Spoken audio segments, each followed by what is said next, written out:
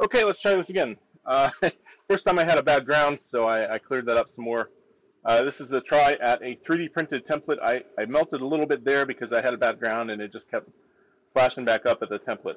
Um, this is for a project I've been trying, wanted to try out for a while. This is uh, like eighth inch steel, a little bit thicker than eighth inch, I think. So let's let's see if it works.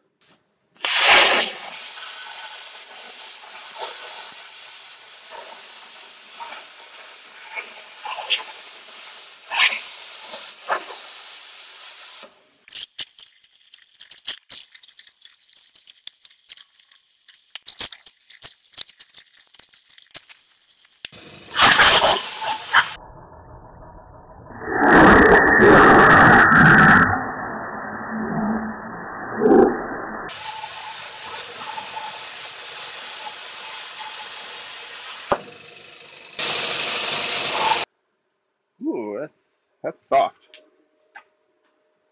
Let it cool down some.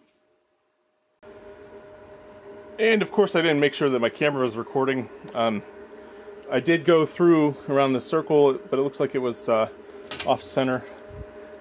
It's still it's still hot. Um, the template, safe to say, did not survive.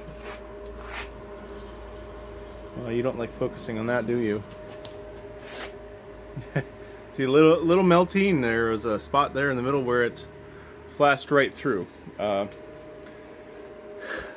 but that part, that part right there looks okay. Although it may be, no, no, it's melted to the steel. So, I imagine now that,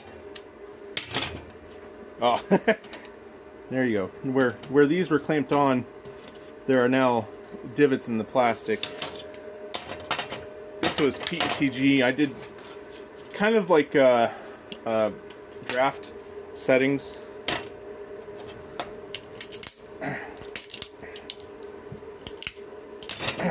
yeah, yeah. See, that's that's fun right there. Um, interesting.